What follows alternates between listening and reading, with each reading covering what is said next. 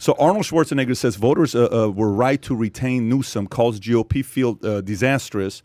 Uh, LA Times, he was a governor in 2003 after recall, said he received uh, relief. He was relieved that Gavin Newsom kept his job. Still, the Republican added that he was hopeful that the special election was a wake-up call for Newsom that makes him uh, perform better. The former Mr. Universe, who remains a registered Republican despite his disagreement, the former Mr. Universe. This is LA Times. The former Mr. Olympia, and they say Mr. Universe. His disagreements with the state's party's path was harshly critical of the GOP field, and the recall is just uh, disastrous. Uh, he says uh, the Republican candidates they did the opposite. Schwarzenegger said, such as talking about eliminating environmental laws supported by most Californians. So, uh, uh, what what is what is going on with you know this Republican governor in California supporting with the way Newsom handled California?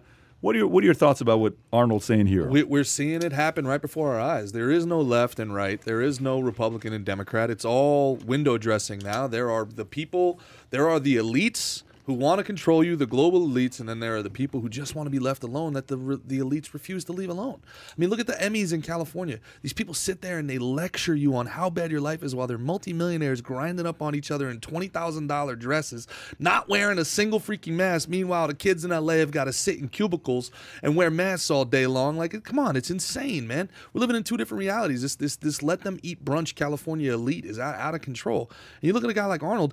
You know, how come he look? I actually agree. I think the GOP is, is running bad campaigns. The best thing the GOP has done in the last 10 years is just shut up and let people see what the Democratic Party really stands for. That tells you how badly that party is being run on a national and a state level. Where the quieter they are, the more people actually listen, and you're seeing F. Joe Biden chants all over the place. But that he also could have come out and said something to the effect of, "Hey, national media, how come Larry Elder actually got attacked the way Jussie Smollett claims to have gotten attacked?" And you guys didn't cover it. Jussie Smollett claimed to have Ju- gotten Juicy. Juicy, Juicy. Juicy Smollett, don't- don't, uh, Juicy Smollett. I mean, there was a woman in a gorilla mask throwing eggs at this dude. A, a, a, a, a black guy running for public office, a woman, a white woman in a gorilla mask throws eggs at this dude, and it was on the, the news for like half an hour. First of all, uh, there's a part about what Arnold's saying is right. Larry Elder, qualified guy. Yeah. He just didn't have enough time to create momentum. His He concession speech was really good. Who's Larry's? Larry Elder. Well, Larry's a Larry's a G. Larry's a guy that he knows how to deliver the message. Probably one of the best uh, in America. But uh, they did not have five, six, seven, eight guys that wanted to get out there and do something about it. There, there were certain people that said that I would go against the recall, but uh, the people that could have probably won it. Do they really want the life of being the governor of the state of California on the right? I don't know. I don't know if somebody's going to want to do that. They got to they got to adjust their strategy, Pat. They they've given up on the cities. If you give up completely on the cities, you can't win. You cannot win by losing the cities by 90%, 92%, 93%. You just can't do it. You have to fight. Look, that's where the voter fraud is happening. That's where it's happening. Voter fraud happens on both sides. But if you can have people go into a high rise building and literally walk door to door, ballot harvesting, technically illegal. It happens. You go door to door and you could take literally a thousand, two thousand ballots in each building. You could knock out ten thousand people in a day. In a month, that's three hundred thousand people. How do you how do you how do you recover from three hundred thousand people? If you just give up on the cities, you gave up on the country. It's done. They they have they've got to get in there and fight. What are your thoughts?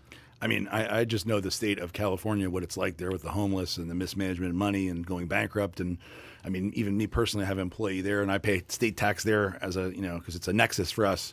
It's very you know, I don't understand how they take in so much money uh, yet seem to have no money. And I mean, it just it, California is kind of mystifying to me. I love the I love visiting. I used to love visiting there because of the weather, obviously, you know. Um, but man, you go there now, and it's going back to bodybuilding, Venice Beach. You go to Gold's Gym. There's there's tents, tent city all over there. Pete Needles and people, you know, shitting. Because you're not pay, paying your fair share, really. Yeah. it's, it's your fault. It is, You right? should- you guys should feel terrible. Yeah, exactly. you I feel extremely guilty. Pony Yes. up, guys. I mean, you Pony left. up. You left. So yeah. There's no. do, do you miss it at all? No, no. I, I miss the friends. I miss the restaurants. I miss the the community. I miss my habits. I miss my drive. I miss the theater I would go to. I'm a guy that's a you know ritual guy, so I like to sit in the same place, same restaurant, same waiter, waitress.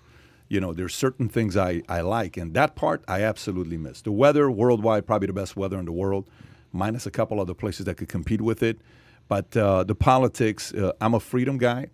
And the fact that they don't allow you to breathe and make a decision for yourself, it's just that automatically disqualifies from a guy like me being able to live in a place like that. The whole yeah. purpose of why I work my ass off is because I want to be left alone. That's right. why I work my ass off. It's because just leave me alone, let me do my thing, and uh, I'll create value in whatever community I live in.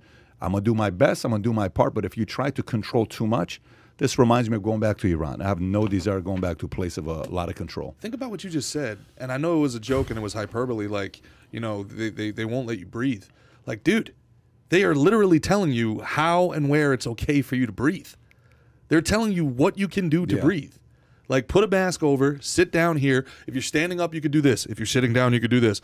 You know, it, like why is it okay to take your mask off when you sit down? Well, because obviously COVID is only six foot high. Anybody anybody five foot two or lower, they, they don't have to wear a mask. Five foot three or above, you know, dude, it makes no sense. They're just addicted to the power. And then you see the mayor of San Francisco who puts in a mask mandate, tells the entire county of San Francisco, the entire city that she's in front of, that, that she's in control of, what they can and can't do, and then goes out partying with no mask on. And then when they call her on it, doesn't even apologize. Says the spirit of the night took me over.